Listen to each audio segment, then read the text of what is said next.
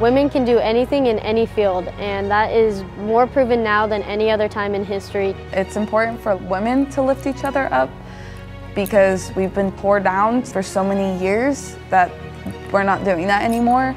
The women of 2024 are strong and powerful. It's very important for women to take up space, especially in these non-traditional roles. It shows younger generation that the sky's the limit. I love seeing the representation of strong female women. Seeing my mom be a strong woman, like it makes me want to do one. So it's not only like they're representing, they're like an influence.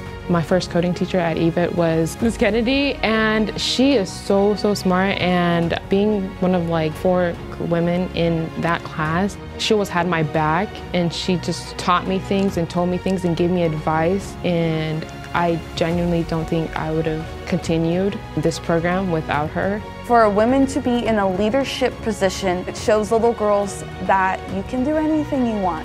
If one woman wants to do it and they're like, oh, I'm not sure if I can, there's gonna be for sure a good woman up there who's already like, say like a government official or a police chief or anything like that. If they can do it, you definitely can do it too. I think today we still stand as an industry where it's a more male dominated field and our goal is to really bring more women to the table. Women are just as equally supposed to be there because we are just as strong, we are just as capable as men are. You can do those things. You just got to work for it.